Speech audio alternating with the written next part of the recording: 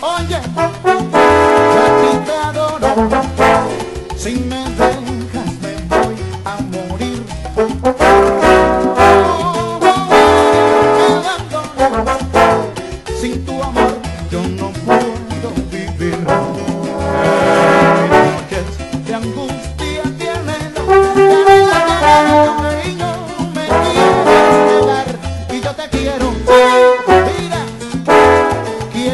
morir.